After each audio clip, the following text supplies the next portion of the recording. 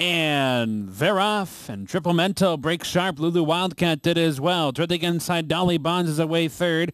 Royal Ticket did not break well on the fire outside. Is moving up, though. Howard Teal had to take up soon after the break, but is finding stride and advancing. And a break of two. The trailer is Mandy on Broadway. Fire turn run. Triple Mento loose on the lead so far. Leads by three quarters.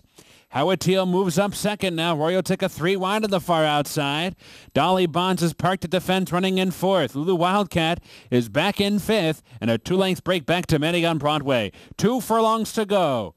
It is Triple Mento hitting the top of the stretch with Howard Teal alongside. And now Howard Teal puts the black blinkers in front, but toward the inside, Dolly Bonds is going to try and put in a late bid, and Triple Mento fights on between them. 16th to go. Howard Teal and Dolly Bonds. Dolly Bonds and Howard Teal. Triple Mento back to third. Coming up to the finish. Dolly Bonds edging out the victory on the inside at a juicy 12 to 1. Howard Teal was second. Triple Mento was third. Looks like Manning on Broadway got up for fourth.